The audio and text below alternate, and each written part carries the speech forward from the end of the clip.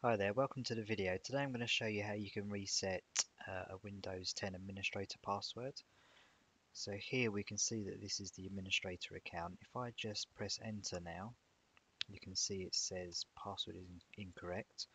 What we need to do is we need to create a bootable media. So if you hop onto another machine you have got access to, and if you go to uh, this website, I'm going to uh, put the link in the description so you can just click on it. And if you scroll down and download the tool it's going to download um, a .exe file. So you just double click on it and install it on the machine. Run the application. The application is going to look like this. So what you need to do is on here it says select the target computer. So this is the computer that you want to reset the password on so mine is Windows 10 64-bit, so I need to select that. Um, obviously it works on all of these operating systems you can see here, Windows XP all the way up to Windows 10. So we want Windows 10, click Next. Now if you want to burn it to a CD DVD, just drop down and select the drive letter of your CD. If you want to burn it to a USB flash drive, just select that and then select your flash drive as well.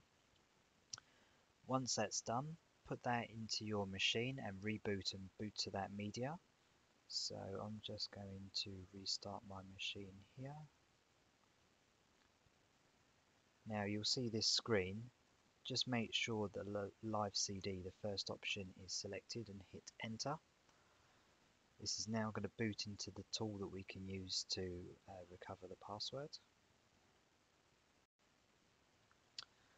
Okay, so first screen, click Next. Uh, click Yes there. Yep, so next again.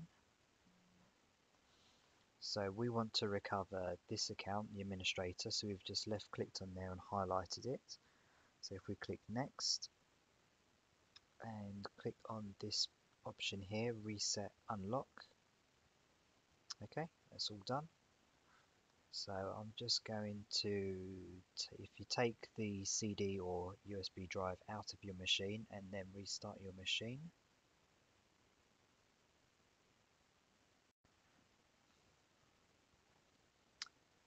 Okay, now if we log in as the administrator account, what it's done is it's completely removed the password so you don't even get prompted to enter a password, it will just log you straight into the desktop.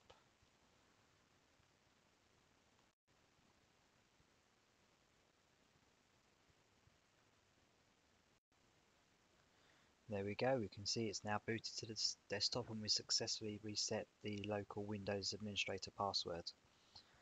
Thanks a lot for watching, I'll see you in, in the next video.